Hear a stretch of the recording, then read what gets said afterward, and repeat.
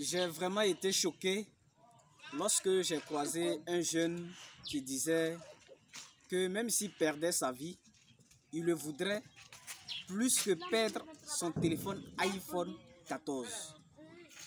Quand il a dit ça, j'étais à ses côtés et ça m'a vraiment choqué.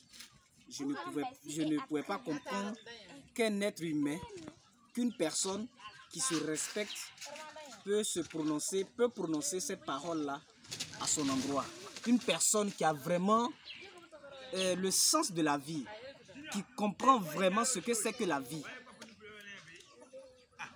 qui comprend que même si on pouvait acheter la vie, il y a des personnes qui l'auraient acheté.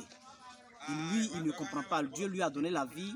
Comme il se réveille chaque matin, il ne paye pas le souffle de vie. La santé qu'il a, il ne la paye pas.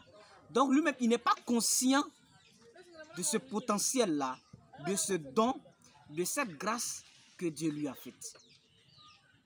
Et il se permet de dire que s'il perd sa vie, il sera encore plus content que de perdre son téléphone. Un téléphone qui a été conçu par un esprit humain. Un téléphone qui a été conçu par Steve Jobs.